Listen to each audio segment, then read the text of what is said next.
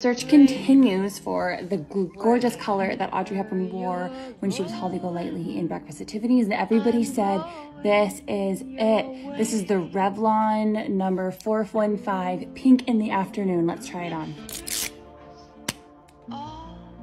to see the world, there's such a hmm. lot of world I think this is a dupe.